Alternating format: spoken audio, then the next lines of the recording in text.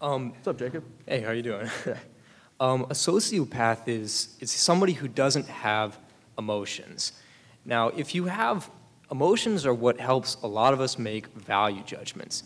And it's, I believe it's with sociopaths, but whenever they, um, when some, sometimes people, after they've been through a head injury, they can actually sever parts of their brain that allow them to make value judgments. So if you ever go shopping with a sociopath, it's horrible because they don't care which shirt, you know, they don't care if it's red or blue, you know, if it's expensive, they just don't give a damn.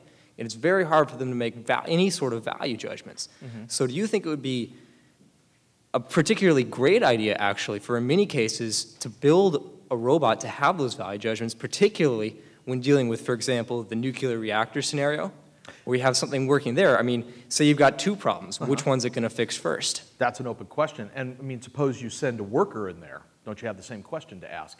I mean, uh, to what extent do, do human beings follow orders the way that those who write up their directives would want them to? So, on that account, much of what we get out of a robotic system, okay, is of value in relation to human systems because they may supply for us a way to get the data that the system is dealing with also sent remotely back to someone else who can oversee it and perhaps shut it down if it's going if it's going to be troublesome. Right. You can't really do that as effectively with a worker. Right. Okay, so, and, and yet, it's the workers who we prize for their value judgments. Yet, it's also workers who can make very bad value judgments. So, what I, I don't think in that sense we need to solve the problems about how to deal with human workers before we try to implement artificial workers. What we can then instead do is say that there's something about the cognitive structures of human beings, okay, when they are properly functioning persons, and there's something about the emotional structures of persons that is useful for making decisions. Now, if we can, from the ground up, try to build a controllable support mechanism for that, maybe we'll be able to, uh, let's say, uh, build systems that where the variables in their operations are a little more controllable and they're more directable. But we're going to try to do that only in virtue of how we de- develop from the top down a conception of our own cognitive and emotional structures, and then try to get them to meet somehow. And we don't know if they can, because we just don't know if what we're building from the ground up with these robotic systems is actually aiming at the kind of thing we're trying to reverse engineer from the top down in ourselves. We just don't know that. I don't think that should be an obstacle. And the thing is, is that philosophers fetishize the problem of consciousness, okay, and treat that as the primary concern, and then poo poo a lot of this other work. When what they could be doing is, is setting aside what is a legitimate philosophical problem that is simply irrelevant in this context, okay, and instead investigate what is relevant in this context with respect to the rest of the philosophy that just sets aside the problem of consciousness. Right. So, maybe I've done a nice roundabout on your question, but, uh, but the thing I, am issue, I'm concerned about is this. Uh, it's just, I think, a matter of fact that computer engineers and robotic, or computer scientists and robot engineers want to develop aut- autonomous robotic systems that can make value judgments. They want to do that. What I'm going to say is, well, Locke provides a general philosophical framework for conceiving of the targets for that kind of enterprise. I see. So it's That's it- my claim. It's the difference between like HAL from 2001: A Space Odyssey and, for example, a conscious mirror, which simply is t- takes in information from the outside Mm-hmm. and reflects everything else back that it can, that it knows or can see about the world, including the fact that it can think. Right. And also think about this with respect to HAL. HAL got shut down and started back up. Whereas if it wasn't HAL who was running that system, the solution would be a bullet in the head. And it's a lot harder to, build the person back up once you shot that person.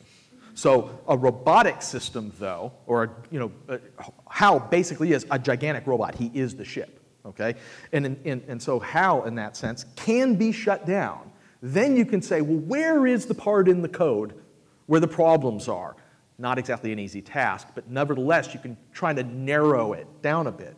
Okay? And once you do, then try to implement the solution. And then what do you get? You get your machine back, or you get a structure that you can then implement into a new machine. Right. We really can't do that with ourselves.